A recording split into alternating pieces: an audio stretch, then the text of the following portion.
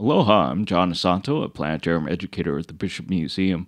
Stargazing and learning to find the constellations can be a rewarding experience, and thankfully, this is something you can do from your own backyard or your balcony. So, I'm going to give you a quick tutorial on how you can use the sky map we offer to all our visitors. You can download a copy of it from our website.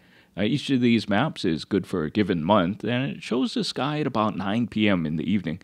Our maps work well for all of the islands in the state, but if you're from the mainland, you'll notice that much of the southern sky won't be visible. Still, you can compare just how different things look from Hawaii compared to your own home. Now, usually when we use a sky map, we'd hold it above our heads, and doing so will correctly align all four directions. If you prefer, you can hold the map in front of you with the direction you're facing pointed towards the ground. And when you hold it this way, the bottom half of the map is showing you what's in that part of the sky. For example, imagine you're watching the sunset. That's west, so you'd hold the map with west pointing down. In March and April, the maps show you you can find Venus in the sky until late in the evening.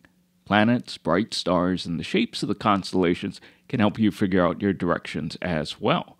One of the easiest ways to find north is to look for what Hawaiians call Nahiku, or the Seven. You probably know it as the Big Dipper.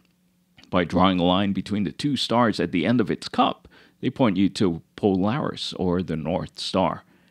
Recognizable constellations like Orion the Hunter with his four star body and his three star belt can also help you figure out your directions. You'll find him setting over to the west as the winter constellations begin to leave us for the year.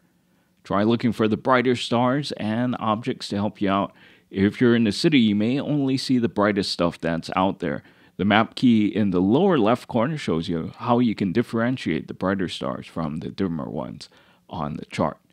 And while there are a lot of astronomy apps available, you should give the star map a try first. Part of the fun is figuring out where everything is on your own.